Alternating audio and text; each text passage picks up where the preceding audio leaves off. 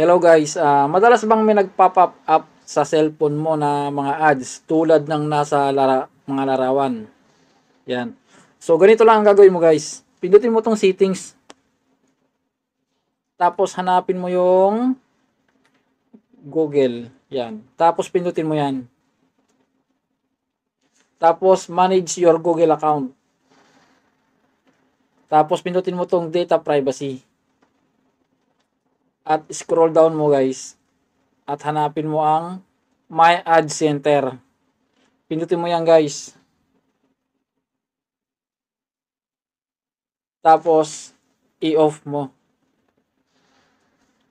Turn off. Tapos got it. So ayun, naka-turn off na siya. Wala nang magpa-pop up sa cellphone mo ng mga ads. So yun lang. Mag-subscribe ka na.